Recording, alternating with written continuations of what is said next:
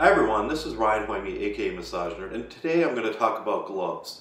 Or finger cots, some people will use too. So let's say you cut yourself, um, you want to be able to still massage, but you're going to be put, you'll have to put some gloves on and make sure that they're the rubber gloves that are powder free and latex free. So both of those kind of things.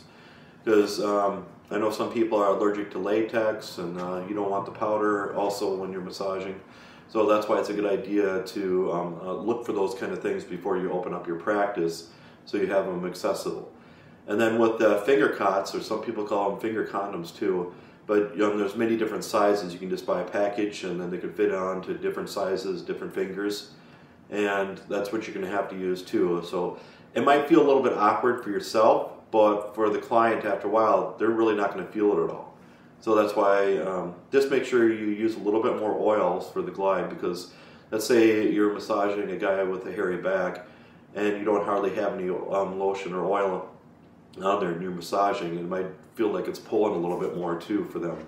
So that's why it's a good idea to have um, more lubrication when you're using that.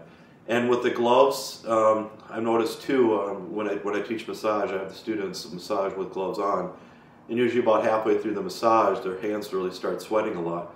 So it might be a good idea when the client flips over to um, take off those gloves and put on a new pair of gloves then.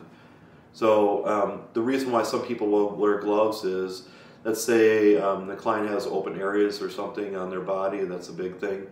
Um, I know um, a chiropractor in the past uh, made one of my past students wear gloves with um, clients that have hepatitis.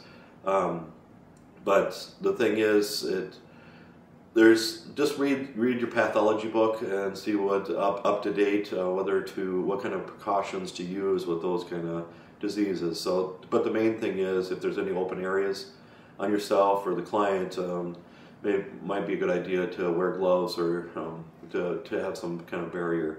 Because look look at in the nurse um, nursing homes or hospitals, nurses always, no matter what, they're, they're wearing gloves all the time, um, just to be safe. But us as massage therapists, we typically don't use it, but it would be a good idea to practice using gloves for a while too. So that's my recommendations and any kind of comments or situations that you run into, if you had to wear gloves or you wanted to wear gloves or you didn't have gloves, uh, leave in the comments section below.